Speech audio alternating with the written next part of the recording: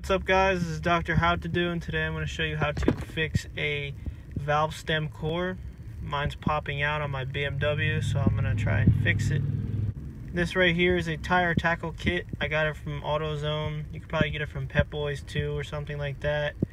It's only about five bucks. Here's the receipt. I can actually show you. Yeah, five bucks or five and change. So today I'm going to do it right at the pump because I don't have an air compressor at home.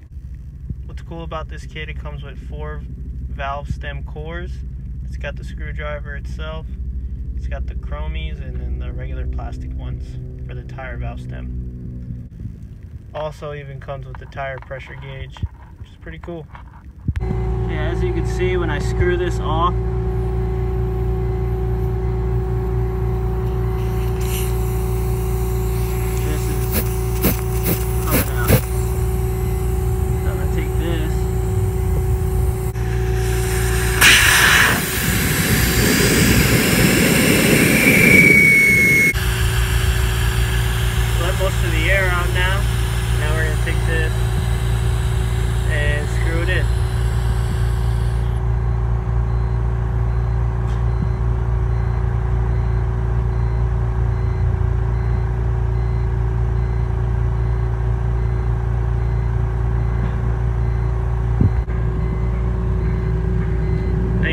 overturn these things. You just want to turn it until it's just tight because you don't want to strip it or anything like that.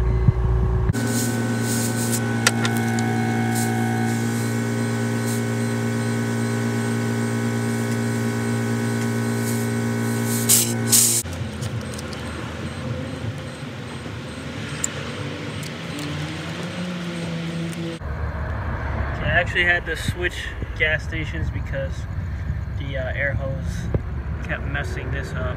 Wouldn't fit on it, but here's the old one. As you can see, it's kind of like springy and broken. But on this one,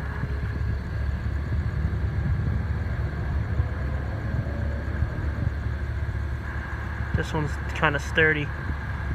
But yep, all that took was five minutes and there's your new tire valve installed tire is good to go.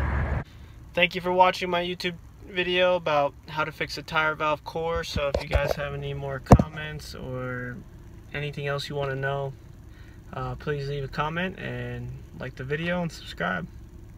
Thanks. Peace.